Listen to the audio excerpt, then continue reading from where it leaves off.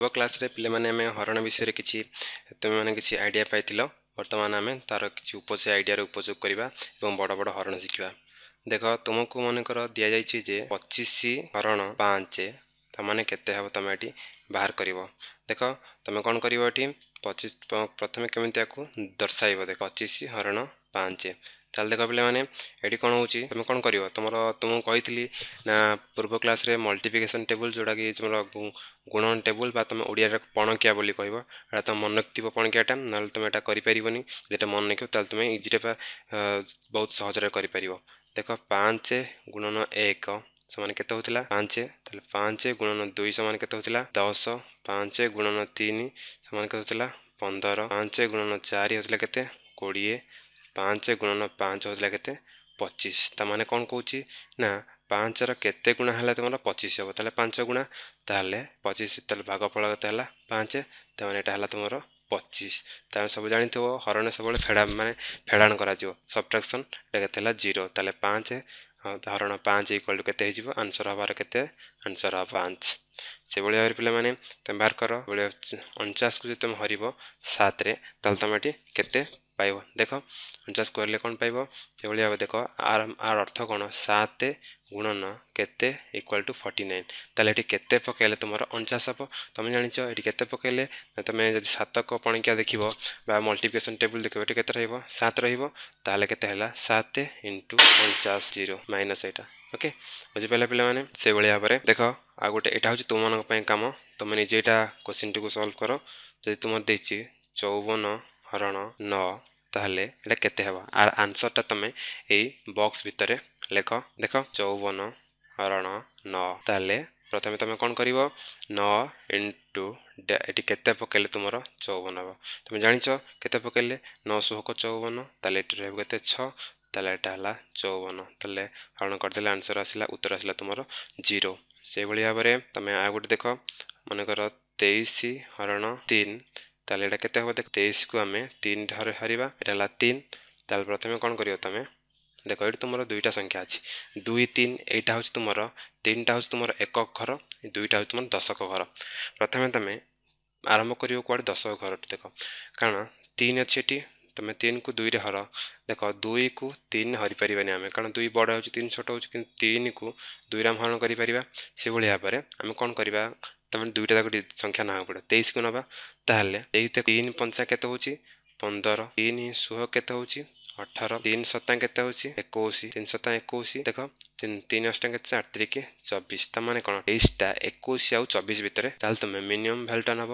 ଚବିଶ କେବେ ନେବନି? ଅଧିକାଟା। ଏକୋଇଶଟା ନେବ ଏକୋଇଶ ହେଲେ କେତେ? ତାହେଲେ ତୁମେ କେତେ କେତେ ପୁଟ୍ କରିବ? ଏଠି ତୁମେ ଏଠି ବର୍ତ୍ତମାନ ସାତ ପକାଅ। ସାତ ପକାଇଲେ ଏଠି କେତେ ହେଇଗଲା? ଏକୋଇଶ ଆସିଗଲା। ତାହେଲେ ମାଇନସ୍ କରିଦିଅ। ତାହେଲେ ଏକୋଇଶରୁ ତେଇଶରୁ ଏକୋଇଶ ଗଲେ କେତେ ହେଲା? ଏଠି ତୁମର ଦୁଇ ଆସିଗଲା। ବୁଝିପାରିଲା ପିଲାମାନେ? ତାହେଲେ ତେଇଶକୁ ତୁମେ ତିନିରେ ହରୁଛ ତାହେଲେ ତୁମର ଉତ୍ତର କ'ଣ ଆସୁଛି ଉତ୍ତର ଆସୁଛି ତୁମର କ'ଣ? ନା ସାତ ସାତ ଏବଂ ଭାଗ ଶେଷ କେତେ ଆସିଲା? ଭାଗ ଶେଷ ଆସିଥିଲା ତୁମର। ବୁଝିପାରିଲା ପିଲାମାନେ? ମାନେ ତାପରେ ସେଇଭଳି ଭାବରେ ଆଉ ଗୋଟେ ଉଦାହରଣ ଦେଖ। ଏଇଠି ଆସିଲା ମନେକର ସେ ଦେଇଛି ତୁମକୁ ତିନିଶହ ଚଉରାଳିଶ ହରଣ ଚାରି। ତାହେଲେ ଏଇଟାକୁ ତମେ କେମିତି ବାହାର କରିବ? ତିନିଶହ ଚଉରାଳିଶକି ପ୍ରଥମେ ମୁଁ କହିଛି ପ୍ରଥମେ ଦେଖ ଏଠି ତମେ ତିନିକୁ ଚାରି ହରିପାରିବନି ପ୍ରଥମେ ଏ ଦୁଇଟା ସଂଖ୍ୟା ନେବ ଚଉତିରିଶ। ଚଉତିରିଶ ଟି ଚାରିରେ ହରିବ କେମିତି ହରିବ? ତୁମେ ଚାରି ଚାରି ଅଷ୍ଟା କେତେ ଜାଣିଛ? ଚାରି ଅଷ୍ଟା ହେଉଛି କେତେ? ବତିଶ। ଚାରି ନୂଆ ଚାରି ନଅ ଚଉକୁ ଛତିଶ। ଓକେ ତାହେଲେ ଚଉତିରିଶଟା ବତିଶ ଆଉ ଛତିଶ ଭିତରେ ରହୁଛି। ତାହେଲେ ତୁମେ କେଉଁଟା ମିନିମମ୍ଟା କେଉଁଟା ନେବ? ଆଠ ଯେଉଁଟାକି ବତିଶ ନେବ ତାହେଲେ ଏଠି ପକାଇବ ଏତେ। ଆଠ ତାହେଲେ ତୁମେ ବର୍ତ୍ତମାନ ବତିଶ ପକାଅ। ବତିଶ ପକାଇଲେ କେତେ ଆସୁଛି ଦେଖ? ତାହେଲେ ବର୍ତ୍ତମାନ ଏଟାକୁ ଫେଡ଼ାଣ କର। ଚାରି ଦୁଇ ଗଲେ ଦୁଇ ଏବଂ ତିନି ସରି ଚାରି ଗଲେ ଦୁଇ ତିନି ତିନି ଗଲେ ଶୂନ। ଓକେ ତାପରେ ଏଇଟା କ'ଣ କରିବ? ଏଠି ତୁମେ ଏଟାକୁ ଆଣିବ।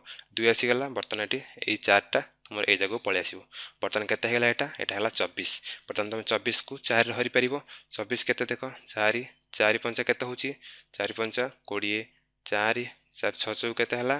ଚବିଶ। ତାମାନେ ତୁମେ ଏଇଟାକୁ ଏଠି ପକାଇବ। ତାମାନେ କେତେ ପକାଇବ ଏଠି? ଛଅ।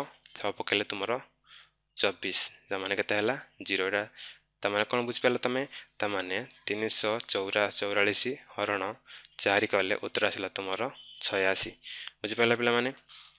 ବର୍ତ୍ତମାନ ଏଇଟା ହେଉଛି ତୁମ ପାଇଁ କାମ ତୁମେ ନିଜେ ଏଇଟା ସମାଧାନ କର ଏକାନବେ ହରଣ ସାତ ସମାନେ କେତେ ହେବ ତୁମେ ଏଇଟାକୁ ଏଇ ବକ୍ସ ଭିତରେ ଲେଖ ଦେଖ ପିଲାମାନେ ତୁମେ ଏଟା କେମିତି ବାହାର କରିବା ଆମେ ଏଟା ହେଲା ଏକାନବେ ଏଟା ସାତ ଏକାନବେକୁ ସାତ ଦ୍ୱାରା ତମେ ଡିଭିଜନ୍ କରିବା ଦେଖ ପ୍ରଥମେ କ'ଣ କରିବା ନଅ ସାତ ନଅଟା ବଡ଼ ହେଉଛି ତ ତମେ କ'ଣ କରିବା ସାତ ଇଣ୍ଟୁ ଏକ ହେଉଛି କେତେ ସାତ ହେଲା ସାତ ଇଣ୍ଟୁ ଦୁଇ ହେଲା ସାତ ଦୁଗୁଣେ ଚଉଦ ତାମାନେ କ'ଣ ଆମେ ନେବା ସାତଟା ନେବା ତାହେଲେ ସାତ ଇଣ୍ଟୁ ଏକ ବର୍ତ୍ତମାନ ତମେ ଏଠି ଏକ ପକାଅ ଏଠି ପକାଅ ସାତ ତାହେଲେ ନଅରୁ ସାତ ଗଲେ କେତେ ହେଲା ଦୁଇ ଆସିଗଲା ଏଠି ବରକର କେତେ ଏକ ଆଣିଲା ବର୍ତ୍ତମାନ ହେଲା କେତେ ଏକୋଇଶ ତା ଦେଖ ସାତ ଗୁଣନ ଦୁଇ କେତେ ହେଲା ସାତ ଦୁଗୁଣେ ଚଉଦ ସାତ ଗୁଣନ ତିନି କେତେ ହେଉଛି ଏକୋଇଶ ତ ମାନେ ଏଇଟା ପୁରା ମିଶି ଯାଉଛି ତାହେଲେ ଏଠି କେତେ ପକାଇବ ତମେ ତିନି ପକାଇବ ଏଠି କେତେ ପକାଇବ ଏକୋଇଶ ପକାଇବ ତାହେଲେ କେତେ ହେଲା ଜିରୋ ଏଇଟା ଫେଡ଼ି ଦେଲା ପରେ ତୁମର ଆଉ ଉତ୍ତର ଆସିଲା ଜିରୋ ସେଭଳି ଭାବରେ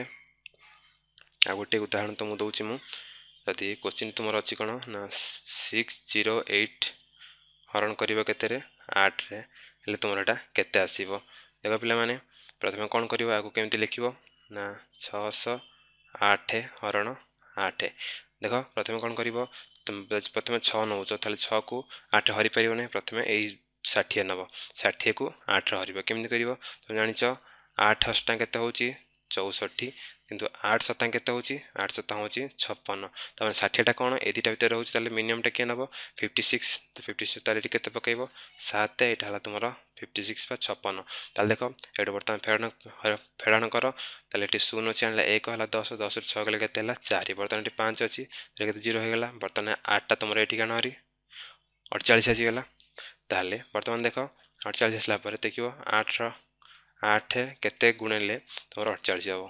ଆଠ ଆଠ କେତେ ହେଉଛି? ଆଠ ଅଷ୍ଟା ନାସିରେ ଆଠ ସତା ଆଠ ଶହ ଅଠଚାଳିଶ ଆଠରେ ଛଅ ଗୁଣିଲେ କେତେ ହେଇଯିବ? ଏଇଟା ହେଉଛି ଅଠଚାଳିଶ। ବୁଝିପାରିଲ? ଏଇଟାକୁ ଫେଡ଼ ଫେଡ଼ନ କରିଦିଅ ତାହେଲେ ମାଇନସ୍ ହେଇଗଲା। ତାହେଲେ ଯଦି ତୁମେ ଛଅଶହ ଆଠକୁ ଆଠରେ ହରିଲ ତାହେଲେ ଉତ୍ତର ଆସିଲା ତୁମର ଛଅସ୍ତରୀ। ବୁଝିପାରିଲା ପିଲାମାନେ? ତାହେଲେ ହରଣ ବିଷୟରେ ତୁମର କିଛି ଆଇଡ଼ିଆ ଆସିଗଲା।